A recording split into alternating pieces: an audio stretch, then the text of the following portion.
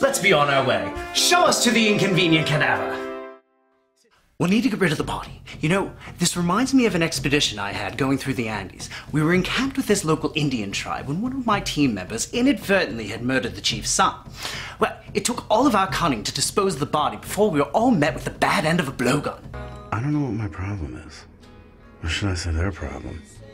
Because I don't have a problem. Maybe it's time for you to face the truth. And that is? I was simply determined to be the first white man to penetrate the inner sanctum of Tutankhamun and get my hands on his massive treasure. I was in a desperate race against a pair of competing explorers, but I was far more clever.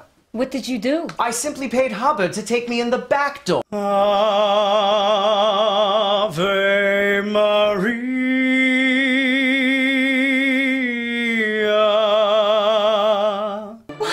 It seems the rod of Tutankhamun has brought Hubbard back from the dead. What are you talking about?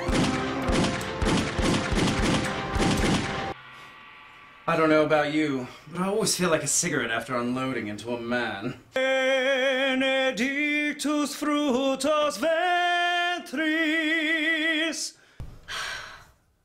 So what's the plan, Uncle? Oh, we've got to get this body out of the house.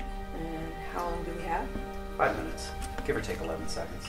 I'll take legs and give you head. I guess I just can't help myself. It's all right, my dear. Wish me luck.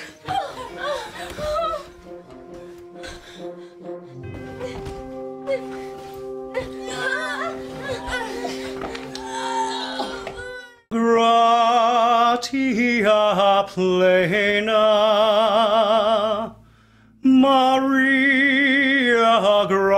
Gratia plena.